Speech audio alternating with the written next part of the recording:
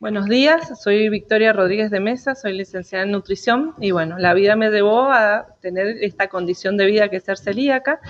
Eh, durante muchos años estuve llevando el programa de celíacos y en la actualidad estoy en la dirección de salud y estoy en los centros de salud para poder acompañarlos y, y apoyar a los pacientes celíacos que viven con esta condición de vida eh, y, tengan todas sus dudas, puedan acercarse a los centros de salud a, ser tratados y acompañados desde, con la alimentación desde este lugar, ¿no? Bueno, la importancia de que estos operativos, de estos talleres, de estas charlas permanentes, no solamente hoy aquí en ciudad, sino en distritos también para que la gente se saque dudas.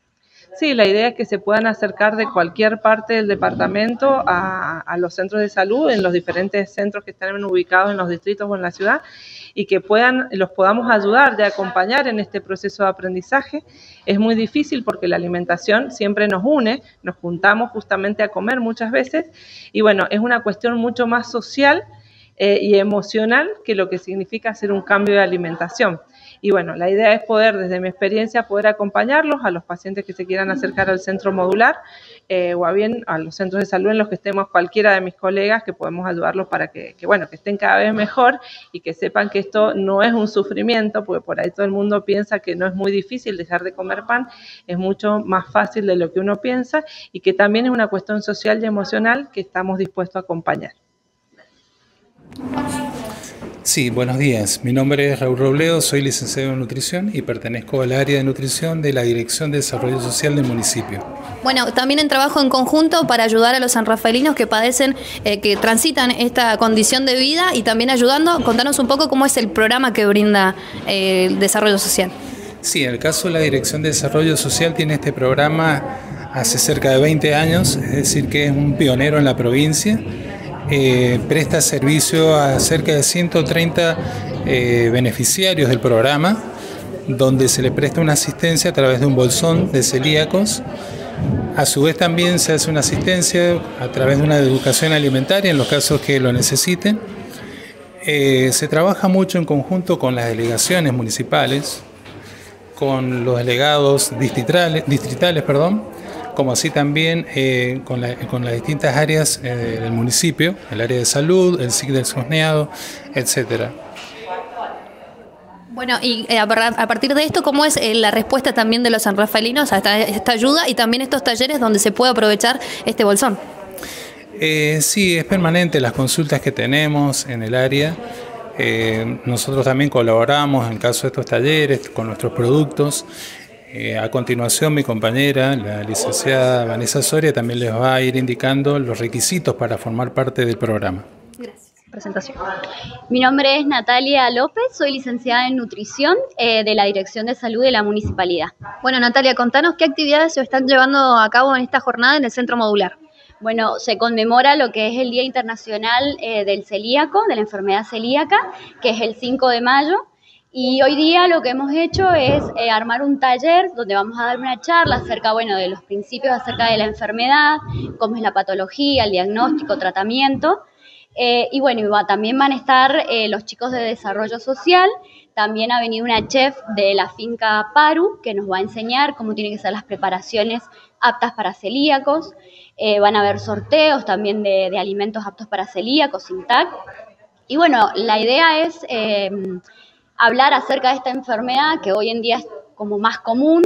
Eh, y bueno, y dar todos los consejos, las recomendaciones necesarias en cuanto a la manipulación de alimentos, cómo evitar lo que es la contaminación cruzada, eh, y bueno, y que se puedan acercar todos aquellos que tengan esos síntomas, esa sintomatología, puedan acercarse a sus centros de salud más cercanos para poder tener un mejor diagnóstico.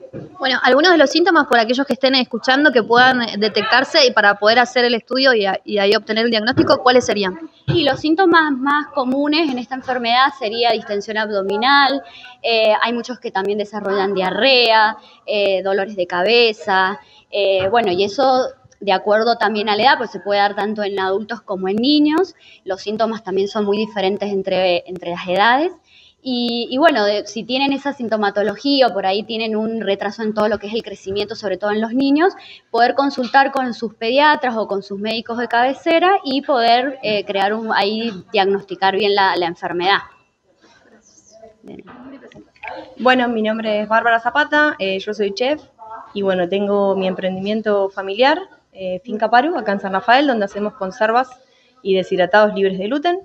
Eh, y bueno, eh, acá estamos para dar una clase y una charla con las chicas de Nutri para la gente que es celíaca y bueno, necesita saber más tips para lo que es la cocina celíaca, que es muy fácil y muy nutritiva. Bueno, ¿por dónde va a pasar también esta masterclass que va a a cargo justamente para informarle a los sanrafaelinos estas cuestiones que son esenciales? Bueno, vamos a hacer eh, una receta, dos recetas fáciles, tanto dulce como salada. Eh, vamos a usar uno de los productos estrella que nosotros tenemos, que es la salsa de tomate eh, y el orégano, que bueno, nosotros cultivamos también en la finca. y bueno, vamos a hacerlo de manera fácil para que bueno, todos lo puedan hacer en casa y puedan adaptar la receta. bueno, y a tener en cuenta también que bueno, la celiaquía también en cuanto a productos, eh, en precios también es, muy elevado y qué, mejor que hacerlo en casa, elaboración propia y da otro, da otro gusto, de otro sentido también a la familia. Exacto, sí, se puede hacer con un montón de productos eh, y bueno, eh, hay que animarse a usar productos tanto premezclas como productos naturales, verduras, frutas y todo el mundo lo puede comer no solamente los celíacos. Es muy nutritivo. Bueno, unos tips para aquellos que nos están viendo para tener en cuenta, eh, aquellos que están iniciando entonces en la elaboración de productos Intaca. Que se animen, que practiquen y que es su camino de, practicar todos los días y pueden darle a su familia eh, algo distinto y rico, pero eh, hacerlo, que, que es súper fácil y se tienen que animar. Gracias. Gracias a ustedes. Hola, buenos días. Yo soy Vanessa Soria, licenciada en nutrición. El área de trabajo mío es desarrollo social. Eh, bueno, nosotros lo que hacemos, eh, tenemos dos programas de celíacos. Uno pertenece al municipio y otro programa pertenece a la provincia. Eh, bueno, yo les voy a contar algunos requisitos que necesitamos para poder ingresar los pacientes al programa. Eh, eh, estos son negativa del ANSES, eh, una constancia médica que indique que la, persona es celíaca, el DNI, en caso de ser menor, el DNI de un tutor también y un número de APROS. bueno, nosotros en nuestra oficina de desarrollo social lo que hacemos es recibir los papeles que nos envían los pacientes, que nos traen los pacientes y armamos los legajos para poder otorgar los beneficios. Vanessa, bueno, recordar dónde están ubicadas las, eh, las oficinas de desarrollo social, los horarios de atención para todos aquellos que puedan juntar la documentación que describías, puedan ser parte del programa. Ajá, en la calle Córdoba al 270. ¿Y los horarios de atención? Los horarios de atención son de 7 horas a 13 horas. Bueno, y recordar entonces la importancia de la documentación y sobre todo el diagnóstico importante que siempre la persona lleve todos los requisitos que con anterioridad nombré, sí, para poder, y todos juntos, sí, siempre insistimos con mi compañera en que traten de llevar toda la documentación junta.